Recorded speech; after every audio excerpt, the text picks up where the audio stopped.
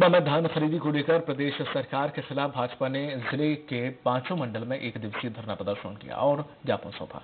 जिसमें भाजपाइयों ने प्रदेश सरकार को किसानों के साथ के वादों को पूरा करने की मांग की। किसानों को पच्चीस सौ रुपये धान का मूल्य देने और साथ ही जल्द खरीदी करने की बात भी कही गई। मंडल जिला के द्वारा आज यहाँ एक दिवसीय धरना प्रदर्शन किया जा रहा है। भारतीय जनता पार्टी के कार्यकर्ता, पदाधिकारी और किसान भाई बंधु मिलकर के धरना प्रदर्शन कर रहे हैं। हमारी मांग है कि जो प्रदेश सरकार, कांग्रेस की भूपेश सरकार ने जो घोषणा पत्र में लिखा था कि हम ढाई सौ रुपया प्रति क्विंटल धान खरीदेंगे पिछले दो साल का बोनस देंगे और सबसे बड़ी बात कि 15 नवंबर हो गया आज आज तक धान खरीदी शुरू नहीं हुई है। मंडला में दो अक्टूबर